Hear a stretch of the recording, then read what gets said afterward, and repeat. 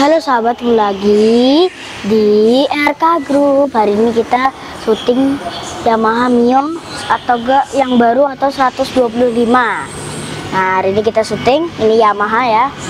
Nah, di bagian depan di sini ada karbon ya. Di sini ada tempat platnya juga. Nah, ini sayangnya lampunya masih bolam.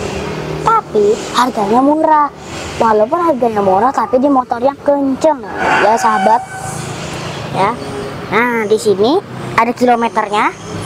Kayak gini ini tempat lampusannya ini kilometernya dan ini mesinnya dan ini lampunya. Nah ini juga sahabat ini motor kalau kita nyalakan motornya lampunya sudah nyala. Langsung nyala dia. Nah di sini sahabat. Nah di sini ada lampu lampu jarak jauh atau lampu dekat ya? Nah di sini lampu sen nih.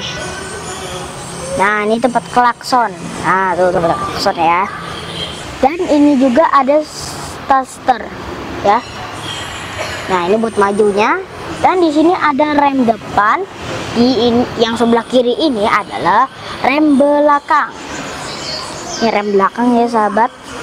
Dan rem belakangnya juga bisa dikunci. Sahabat ya kalau kecuali kalau rem depan nggak bisa sahabat. Soalnya beda kan? Nah di sini ada spakbor hitam ya nih yang bagian depan. Nah di stiker. Dan sini remnya sudah cakram ya yang bagian depan.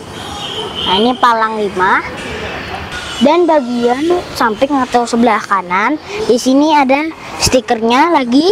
Di sini ada karbon. Ya nih karbon ya sahabat. Nah di sini juga sebenarnya bisa tempat anuin galon atau enggak bisa membawa galon atas daga. Ya galon. Ini kayaknya cukup sih sahabat. Nah ini bagian sini juga ada stiker juga nih nih Mio 125 ya nah ini bagian belakang. Nah di sini ada ada lampu remnya juga nih. Ya tapi lampu remnya masih bolong lah. Nah di sini spakbornya juga warna hitam bagian belakang. Dan di sini ada tempat platnya juga. Ya. Nah di sini ada knalpotnya juga nih sahabat. Tuh knalpotnya warna hitam ya besar agak besar. Nah ini bagiannya di dalamnya. Ya.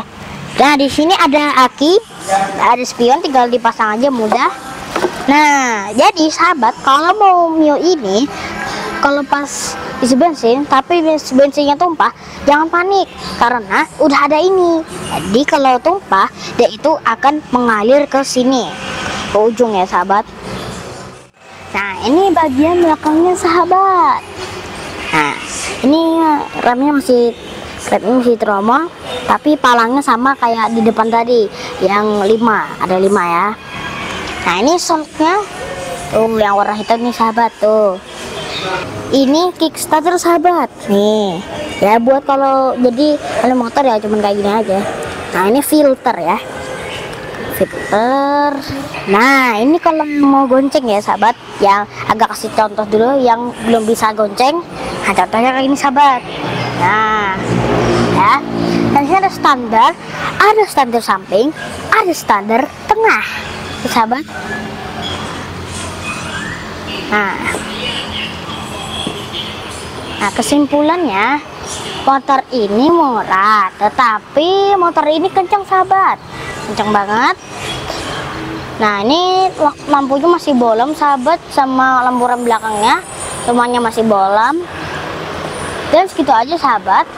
Ketemu lagi RK Group. Dadah